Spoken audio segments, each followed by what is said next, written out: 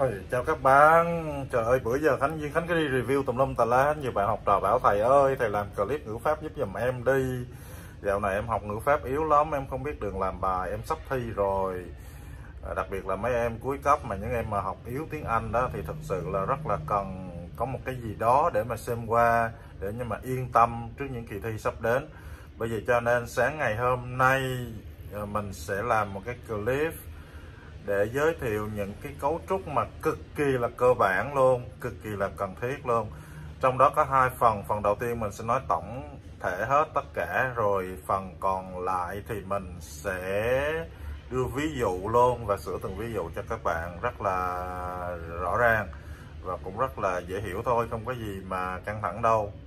Cho nên là các bạn hãy cùng xem clip với mình nha bạn. Bây giờ Diên Khánh sẽ nói qua về những cái điểm ngữ pháp tiếng Anh cơ bản nhất cho dù bạn là học sinh phổ thông hay là bạn đang chuẩn bị thi ờ, IELTS hoặc là TOEIC thì những cái điểm ngữ pháp đối với một cái kỳ thi lúc nào nó cũng đóng một vai trò rất là quan trọng.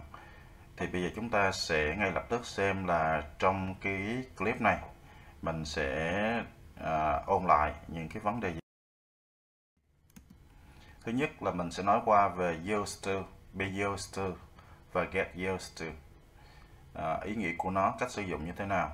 Và các bạn lưu ý là cứ sau mỗi điểm ngữ pháp thì mình đều có các cái ví dụ để các bạn à, à, có thể áp dụng sử dụng. Và với khi mà mình làm các cái ví dụ thì mình sẽ có điều kiện để mình nhớ lại à, và mình sử dụng mình thuộc luôn. Nó sẽ tiện hơn. Và khi các bạn xem clip thì các bạn không gì phải căng thẳng hết à, cái việc học thì mình biết rồi nó không phải là một cái chuyện dễ dàng. Mình cứ nghĩ là mình xem nó để mình coi mình thư giãn vậy thôi. Rồi tối mình ngủ mình mở mình coi hoặc là lúc nào mà rảnh mình mở mình coi thì nó rất là dễ nhớ. Chứ còn mà đôi khi là mình mở một cuốn sách ra rồi mình ngồi mình học ngấu nghiến thì nó lại lâu nhớ hơn ha các bạn ha. Và cái điểm thứ hai đó là mình sẽ nói qua về cấu trúc enough. À, điểm thứ ba mình sẽ nói về cách sử dụng của span ở đây mình thêm có cái cụm từ này mình thêm s thì là khi chủ ngữ ngôi thứ ba suýt trong thì hiện tại đơn ha. Và spent thì mình sử dụng cho thì à, quá khứ đơn. Thứ tư là mình sẽ nói về cấu trúc it takes. Và nếu như quá khứ thì người ta sẽ dùng là it took.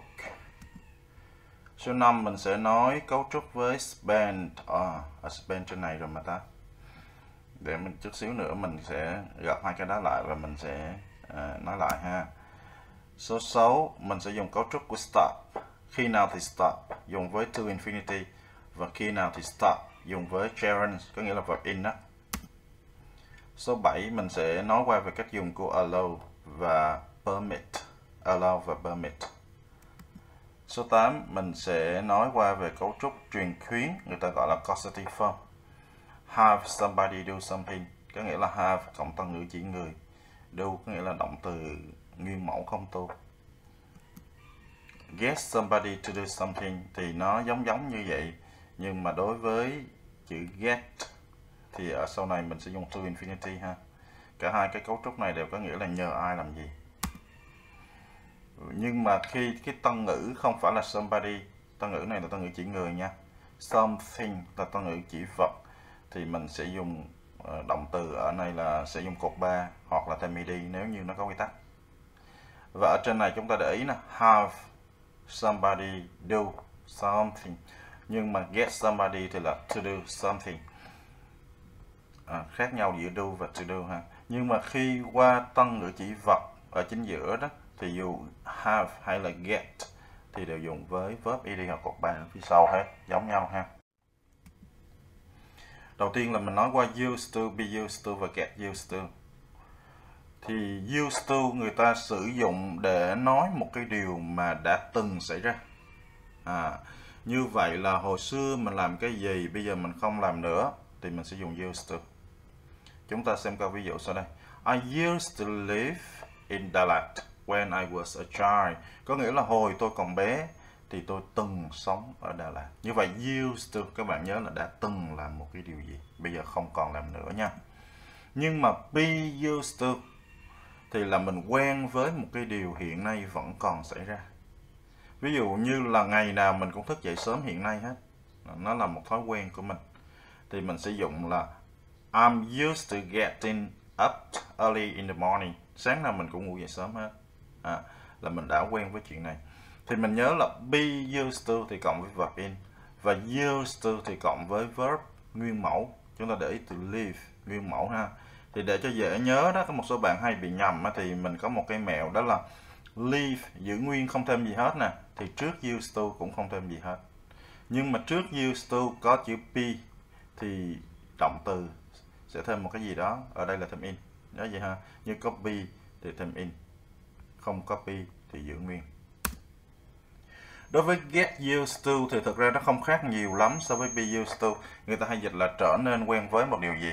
Ví dụ I get used to eating with chopsticks. Chopsticks có nghĩa là đôi đũa. Thì tôi trở nên quen với việc ăn à, bằng đũa. Ăn bằng người ta không dùng by người ta dùng with. À, thì chúng ta lưu ý nè. I'm used to verb in và get used to cũng verb in luôn bây giờ chúng ta sẽ coi thử cái phủ định của used là mình như thế nào. Thì nếu như mình muốn nói phủ định thì phía trước này mình sẽ mượn trợ động từ. Did và mình thêm nó thành là didn't. Và đương nhiên khi mình mượn trợ động từ didn't thì chữ use sẽ về lại nguyên mẫu. À, vậy thôi. Và nghi vấn của used to thì mình sẽ đảo chữ did lên đầu câu. Như vậy did he used to và chữ used to trong trường hợp này sẽ về lại nguyên mẫu như vậy, did he used to live in the countryside? Anh ta có từng sống ở miền quê hay không? Bây giờ chúng ta xem cái ví dụ sau đây. Các bạn sẽ cùng suy nghĩ để ra đáp án cùng với mình. Astronauts in their spaceship, but they frequently work outside now. Những người phi hành gia ở trong cái tàu vũ trụ. Nhưng mà bây giờ thì họ thỉnh thoảng bắt đầu làm việc bên ngoài thì các bạn nghĩ rằng là mình sẽ chọn đáp án nào? Bây giờ mình nhìn vô đáp án A nè. Be used to. Đúng ra phải là vật in, nhưng từ này nguyên mẫu là mình loại nè. Used to đã từng ở. Câu C, đang ở, were staying. Và câu D, had used to stay. Cái này nó hơi nó hơi lạ đúng không? Thì đáp án này mình thấy cái nào phù hợp nhất? Đó chính là câu B, chính xác. Và cái này mình sẽ hiểu là used to stay đã từng, những nhà phi hành gia đã từng ở trong tàu du hành vũ trụ có thể là mới lên không gian. Thì chúng ta ờ, thấy là họ, trước đó là họ chỉ ở trong đó thôi, sau một vài ngày thì họ bắt đầu đi ra khám phá bên ngoài. Chúng ta qua câu thứ hai. This work doesn't bother me. Bother có nghĩa là gây phiền phiền toái. I hard I have worked hard on my life. Công việc này thực sự thì nó không có gây phiền toái cho tôi tôi gì đó là việc chăm chỉ ha, và tôi đã làm việc chăm chỉ cả đời của tôi. Thì nó không có phiền phức gì hết, dùng thì hiện tại đơn này và cái việc mà mình làm cả đời mình chăm chỉ, thì mình thấy nó là một cái chuyện bình thường. Điều đó mình sẽ suy ra là sẽ quen với quen với ha, quen với việc làm việc chăm chỉ. Ở cấu trúc a, used to, thì theo như lúc nãy mình học, đó là cộng động từ nguyên mẫu. Thế nhưng ở đây verb in là mình loại nè. Used to cộng động từ nguyên mẫu nè, có thể là anh này. I'm used to cộng verb in có thể là anh này anh này cũng đúng về ngữ pháp luôn. I'm used to work. Cái này sai rồi nè. Tại vì be used to sẽ cộng với ờ, uh, verb in. Do đó chúng ta sẽ phân vân giữa B và C. B và C đều đúng về ngữ pháp hết nhưng mà ý của câu thì chỉ chọn được một thôi về ý nghĩa của câu. Như vậy ở đây thì các bạn nghĩ là B hay C? Chúng ta cùng xem đáp án này. Đó chính là câu C ha. I'm used to working. Tôi quen với cái việc đó. Tại vì cả đời của tôi làm việc đó và tôi cảm thấy nó không thành vấn đề gì. Cho nếu mà trước kia mình làm, mà bây giờ mình không có chịu nổi nữa, mình nghĩ thì lúc đó mình sẽ dùng used to, mình chọn phương án B. Nhưng cái này là bây giờ mình không thấy ok, fine. Thì mình sẽ chọn câu C ha. My father is used to. Ở lần này thì người ta đã để sẵn vô trong câu luôn rồi. Và mình sẽ điền một cái hình thức, hình thái phù hợp của động từ vào đây thì các bạn nghĩ, các bạn nhớ là be used to thì cộng với động từ thêm in. Như vậy chúng ta ngay lập tức loại C và D. Chúng ta sẽ chọn B hoặc là A. Thì khi thêm in thì chúng ta nhớ gấp đôi chữ T. Như vậy đáp án nào là đáp án đúng? Chính là đáp án A. Getting up early in the morning. Bố tôi quen với việc thức sớm ờ, thức dậy sớm vào buổi sáng. Ở cấu trúc enough thì chúng ta lưu ý như sau. Tính từ đứng trước enough. Đôi khi có for somebody, đôi khi không. Cộng với động từ nguyên mẫu. Động từ nguyên mẫu chẳng hạn như từ rich. Chúng ta nhìn thấy là không thêm gì hết ha. Và tính từ ở đây là torn và cái điều mà chúng ta cần nhớ đó là enough. Sẽ đi với to, enough to. Đủ để làm gì? I'm tall enough to reach this closet. Tôi đủ cao để mà với được cái tủ này. Và khi adverb cũng y chang với adjective. HT đây là tính từ.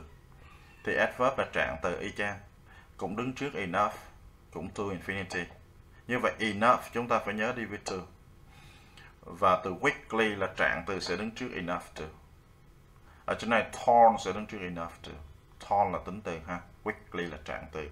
Như vậy, cái vấn đề là là khi nào thì tính từ, khi nào là trạng từ thì thông thường chúng ta thấy động từ to be ha người ta đi với tính từ nhưng động từ thường thì đi với trạng từ trạng từ bổ nghĩa cho động từ thường. Và hai anh này đều đứng trước enough to, they run quickly enough to catch me. Họ chạy đủ nhanh để bắt tôi. Thế nhưng enough mà đi với danh từ đó, thì chúng ta nhớ là danh từ đứng sau enough. Nhớ chưa? Danh từ đứng sau enough. Sau đó cũng dùng với to infinity. Như vậy enough you là danh từ, tính từ hay là trạng từ đều với to infinity phía sau này. To fix giữ nguyên ha. To catch giữ nguyên ha. To reach giữ nguyên ha. He doesn't have enough time to fix his bike anh ta không đủ thời gian để mà sửa chiếc xe đạp của mình. Thì time là danh từ. Để đứng sau enough. Nó khác với quickly là trạng từ thì đứng trước enough. Tall là tính từ đứng trước enough. Giờ chúng ta sẽ xem đáp án này như, à, của cái câu này như thế nào. We don't to go on holiday. Thì chúng ta thấy xung quanh enough người ta dùng cái gì? Đó là thời gian. Thời gian là danh từ. Danh từ đứng sau enough. Nhưng bây giờ chúng ta sẽ thấy nè, câu B và câu C. Mình sẽ phân vân giữa hai câu này ha, tại vì the time là danh từ đều đứng sau enough. Vấn đề là cái câu này mình sẽ dùng động từ have hay là không thì mình nhìn lên câu để cho we don't. Mà nó enough time thì nó thiếu mất cái động từ rồi enough không phải là động từ. Do đó các bạn chọn câu nào C là đáp án cuối cùng we don't have enough time to go on holiday chúng tôi không có đủ thời gian để mà đi nghỉ bây giờ mình sẽ qua câu thứ hai It's too late. I don't understand it at all. Ở đây mình nhìn thấy cái từ mà nó phổ biến là difficult và difficulty. Thì sau to be nè, thì mình sẽ nghĩ ngay đến một tính từ liền. Mình nghe do đó phương án D difficulty enough là mình có vẻ mình không sử dụng được nè. Tại vì difficulty là danh từ mất tiêu rồi. Vừa nó không phù hợp với động từ to be is. Vừa đứng trước enough là sai tại vì đi với danh từ á, thì danh từ phải đứng sau enough do đó bây giờ mình sẽ phân vân giữa A và C đúng không nhưng mà từ difficult là tính từ thì nó phải đứng trước do đó đáp án sẽ câu C difficult enough it is difficult enough to read I don't understand it at all thật là khó để đọc quá đi mình không hiểu gì cả bây giờ cấu trúc của spend à, chúng ta nhìn lưu ý ha I spent khi mà mình dùng như thế này thì là đang ở quá khứ đơn ha. A lot of time cleaning that room. Tôi sử dụng rất nhiều thời gian để mà lau chùi. Thì spend cộng một tân ngữ nè, cộng verb in. Đôi khi chỗ này có giới từ on, người ta vẫn có thể dùng verb in. Thành là I spent a lot of time on cleaning that room. Vẫn ok ha. Và spend time money on cộng với một cộng với danh từ ở phía sau She spends a lot of money on clothes. Như vậy, chỗ này có thể là danh từ, có thể là verb in đều được. He spends a lot of time on his homework. Chỗ này cũng vậy luôn. Danh từ hoặc đôi khi verb in cũng được. Như vậy, vấn đề verb in thì mình sẽ thấy là có thể là không có on. Như là câu ở trên. I spend a lot of time cleaning that room. Và hoặc là có on. Thì mình có thể nói là I spend a lot of time on cleaning that room. Nhưng mà đối với verb in thì không có on sử dụng verb in được nhìn thấy nhiều hơn nhưng theo kinh nghiệm cá nhân của mình thì mình thấy nó sử dụng phổ biến hơn và khi nó có on thì thông thường nó sử dụng với danh từ nhiều hơn giờ chúng ta xem qua câu ví dụ. We have spent too much money. Thì đương nhiên là mình thấy spend thì mình sẽ nghĩ ngay với on. Chứ không thể nào là in. Không thể nào là in. Do đó mình sẽ phân vân giữa A và B. Thì ở đây advertise là động từ. Mà theo sau giới từ là, mà giữ nguyên như thế này là sai. Sau giới từ thì động từ phải thêm in. Như vậy sau chữ on này có thể là danh từ hoặc có thể là children đó vào in. Do đó đáp án sẽ câu B. We have spent too much money on advertising that isn't working. Chúng ta đã dùng quá nhiều tiền vào quảng cáo và cái việc mà sử dụng đổ tiền vào quảng cáo đó là không hiệu quả. Isn't working không phải là không đang làm việc đâu, mà là không hiệu quả. Chúng ta xem xét câu số 2 an hour at the harbor hour chữ h bị cầm, cho nên mình không đọc là how nha. Mình không đọc là how, mình đọc là hour, không quan tâm tới chữ h thì ở đây người ta sử dụng use contribute là đóng góp spend và take. Thì rõ ràng ở đây spend cộng tân ngữ và sau đó verb in là một đáp án lý tưởng cho mình. Do đó mình sẽ chọn câu C. I spent an hour at the harbor waiting for the boat. Tôi đã mất một tiếng đồng hồ tại cái cảng để đợi cái uh, chiếc thuyền. Chúng ta nói qua về cấu trúc it takes ai đó mất bao nhiêu thời gian để làm gì? Mình sẽ dịch từ đây, mình dịch qua nè. Tôi mất, chứ mình đừng có nói là nó lấy của tôi, mà là tôi mất. Tôi mất bao nhiêu đó để làm gì thì sau đó là to infinity. It takes years to learn to play guitar. Cái này thì cái từ somebody này người ta lượt đi, thì mình sẽ hiểu là người ta. Hoặc là mất. Chung mình dịch chung chung thôi. Mất hàng năm trời để học cách chơi guitar. Như vậy chơi guitar cũng giống như học tiếng Anh vậy đó. Không phải ngày một, ngày hai được các bạn. Thật là kiên trì như vậy nếu như các bạn xem clip tới cái thời điểm này cũng đã là kiên trì rồi. Nhưng nếu mà các bạn vẫn kiên trì để xem hết clip, thì đó là bạn sẽ có một tiềm năng rất là rất là là thành công, rất là dễ dàng để thành công khi học tiếng Anh đó. Chứ còn mà bạn xem chưa tới đây, mà bạn đã out ra rồi, thì là mình thiếu đi cái sự kiên nhẫn, nó cũng hơi khó. It takes 30 minutes to walk to school. Chúng tôi mất 30 phút để đi bộ đến trường. Như vậy là it takes ai đó bao nhiêu thời gian để làm gì dùng to infinity ha. Nhưng quá khứ thì mình sẽ dùng từ took. It took me three days to finish that project last month.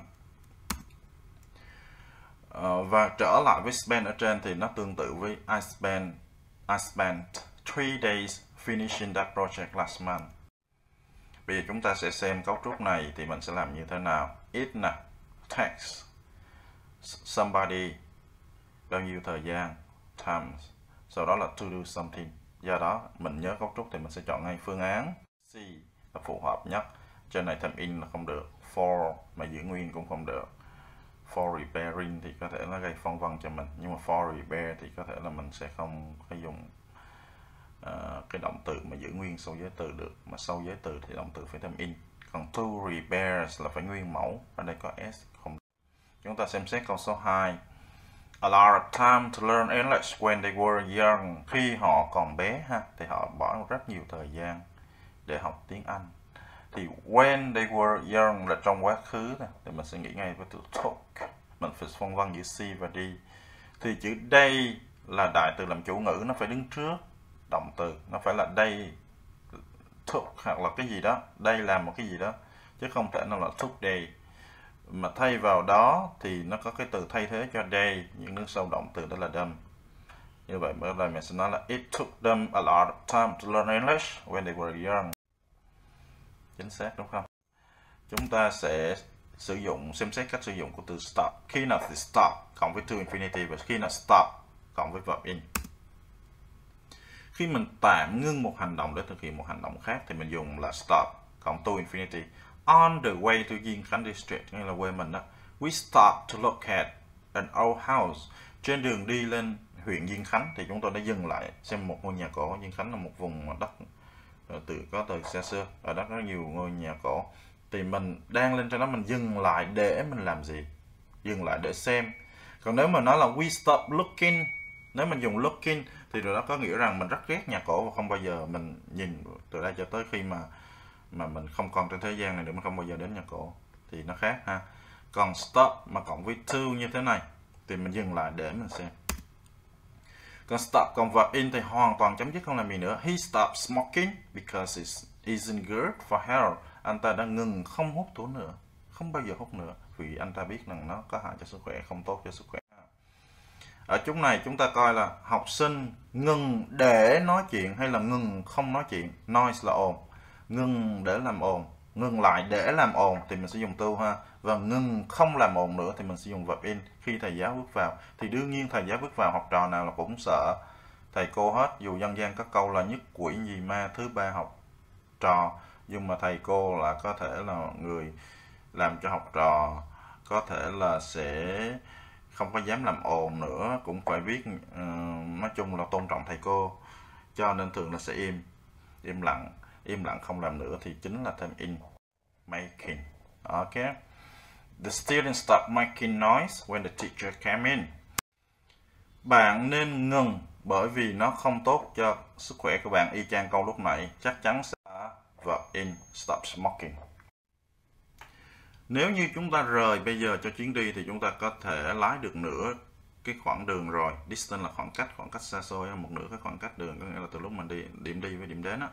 Bởi vì chúng ta trước khi chúng ta dừng lại à, ăn trưa nghĩa là trước khi dừng lại ăn trưa là đã đi được nửa đường rồi.